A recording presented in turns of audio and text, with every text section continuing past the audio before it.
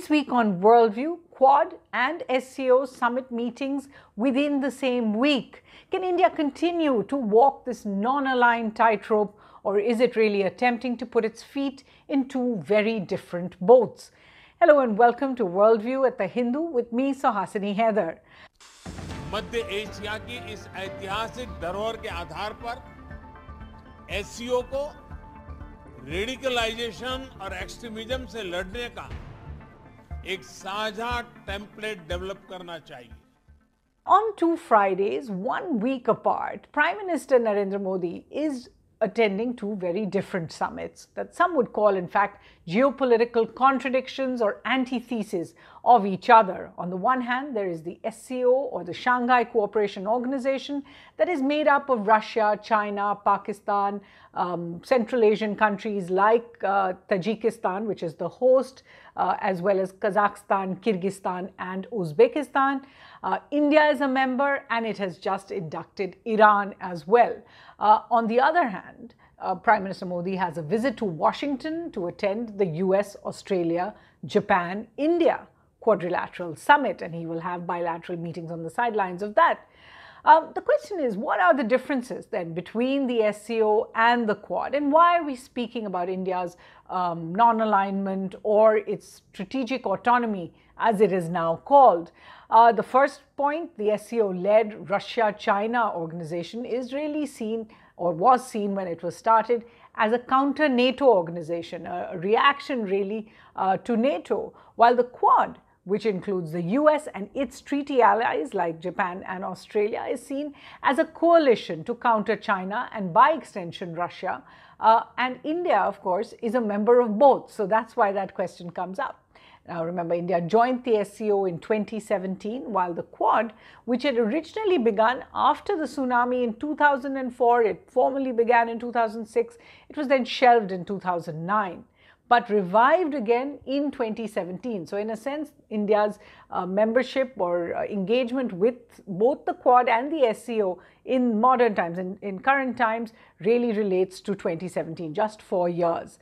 Uh, the SCO, of course, deals with India's continental neighborhood, its neighborhood to its north and its west, uh, including Afghanistan while the Quad really deals with India's maritime neighborhood, the Indo Pacific region uh, and, and the Indian Ocean as well.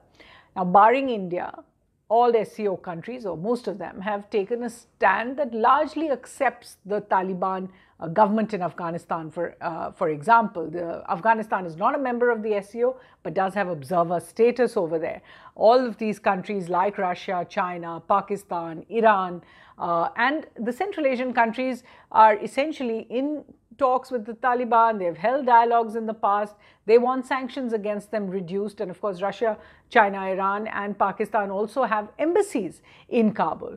Quad countries, other than the United States, uh, have largely stayed more distant from the new Taliban regime in Kabul. They've not opened dialogues except for a few meetings. Uh, and other than the US, they don't have their embassies anymore. The US is still uh, running its embassy from Doha. Now, at the SCO, and this really makes it very interesting the kind of contradictions, India takes part in meetings, even military exercises, counter terror exercises, with countries that include China and Pakistan. While at the Quad, India is part of naval exercises and uh, frequently is part of statements that decry regional hegemony and cross border terrorism. Uh, this is language seen to be aimed at China and Pakistan. Um, Prime Minister Modi also took part, remember, in the Brazil, Russia, India, China, South Africa BRICS grouping uh, last week, which also seems internally divided on some of these issues and some of what are being seen as these two poles in the new world. So you could ask, can India really sustain this tightrope? Uh, or has the Modi government, because this has all happened in the last few years, bitten off more than it can chew for the moment? The first point, and in answer to that, is really that India is not the only country that is in multiple multilateral groupings that conflict with each other. Just take a look at some of the examples. Pakistan, for example, in the 1950s was part of CENTO, it's a treaty organization with the US, while also then working closely with China on a number of platforms. Turkey is a member of NATO uh, with Europe as well as the US, but also a part of several groupings with Russia and China that, uh, that, that don't come together.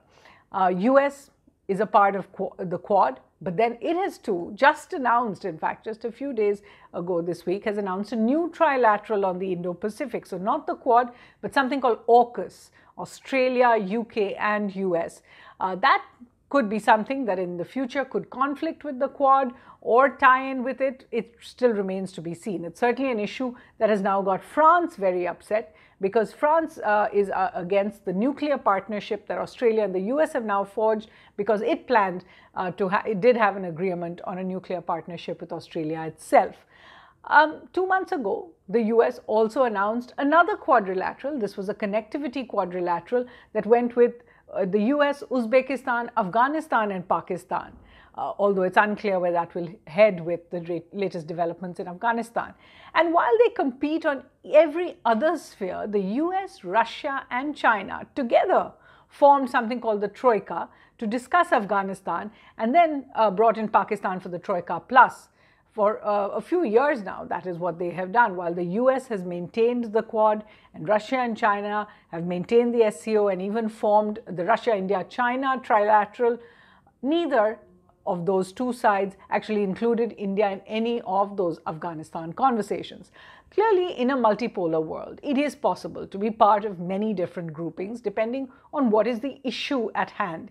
India has found common cause with both groupings on some of the issues and has had differences with the others. So let's just take a look at what are the issues that these two organizations really look at and what does India stand on them. Uh, to begin with, while ensuring a free and open and prosperous Indo Pacific region is really at the base of the Quad revived platform, the leaders, and they met for the first time virtually earlier this year, uh, Mr. Biden, Mr. Suga, uh, Scott Morrison of Australia, and Prime Minister Modi, have focused on three verticals. The first being countering COVID, and it includes a vaccine initiative that uh, is supposed to be a vaccine built in India uh, with American expertise, in other words, the Johnson & Johnson vaccine, which would then be exported. Uh, a billion vaccines would be made for all of Southeast Asia or uh, ASEAN countries, so the Indo-Pacific countries, if you like. The problem here is that while India has signed on to that, uh, uh, to that idea, it is not finding any support to push through the WTO proposal that India is a co-signatory to, asking for a waiver on patents for any of these uh, COVID materials. And India, for its own part, has so far blocked giving indemnity, uh, giving a sort of insurance waiver to the United States for those vaccines. So it really remains to be seen how Johnson & Johnson, which is an American vaccine, can be produced in India as a part of the Quad initiative. Uh, second, really, are climate change issues. India has worked with Quad countries on the Solar Alliance, on the Paris Accord. They have very similar goals, but it has not yet signed on to some of the things the other countries would like to. Uh, for example, net zero by 2050. Uh, that means an end to carbon emission uh, in net, as well as ending coal uh, as a source of, uh, of thermal power. These are all deadlines that these more westernized and developed countries have already signed on to, but India as a developing country is waiting uh, to make any announcement. So there is no sort of uh, common position as of, as of now on, on that part of the Quad.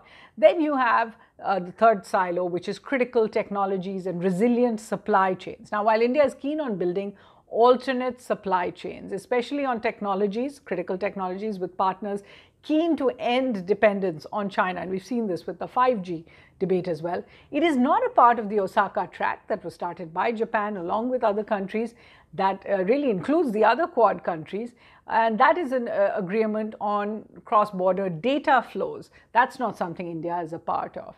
So let's turn across the aisle to the SCO now and take a look at what they discuss and what is India's position there. And again, we see some differences. For example, uh, the SCO runs what is called the Afghanistan Contact Group, where ministers or deputy ministers come together.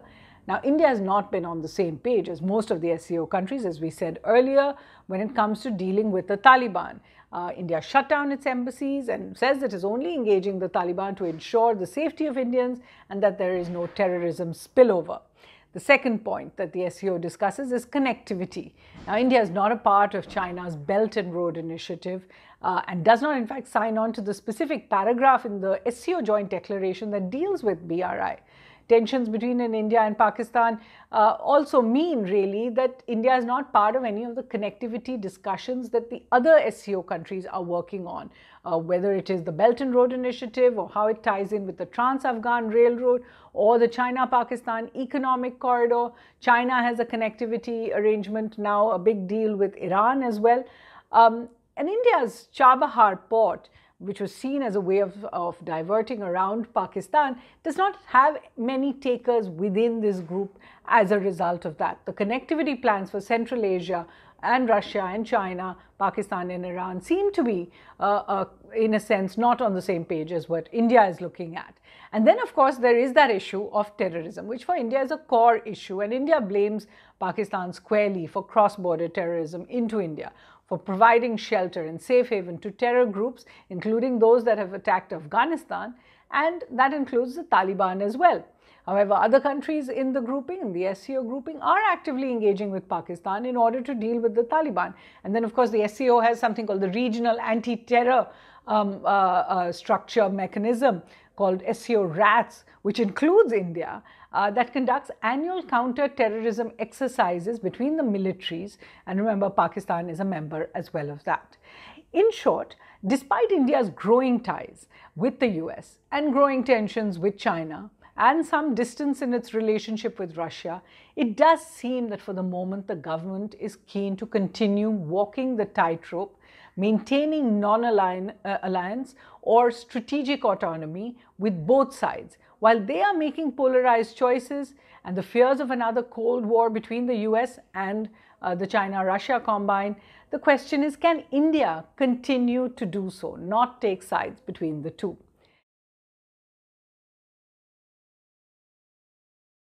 So we do have a lot of reading recommendations for you on this. At the Hindu website, you can find specific profiles of the SCO, the Quad, and in fact in BRICS as well.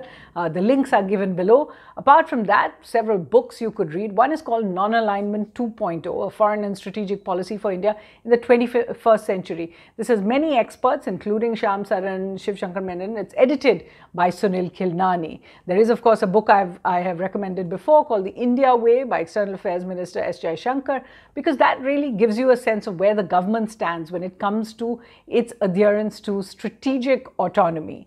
Uh, there is a book by very famous American uh, diplomats called Teresita and Howard Schaffer called India at the Global High Table, the quest for regional primacy and strategic autonomy. That kind of, the title explains what the book is about. Next, there is Indian Diplomacy Beyond Strategic Autonomy by uh, another diplomat, an Indian diplomat called Rajendra Abhyankar. And finally, two books uh, by the author Zorawar Daulat Singh. One is called Power and Diplomacy, India's Foreign Policies During the Cold War. So that tells you a little bit about the history of India's stand, as well as Power Shift, India and China in a multipolar world. Now that is all we have time for here on Worldview, but from the team here, thanks for watching.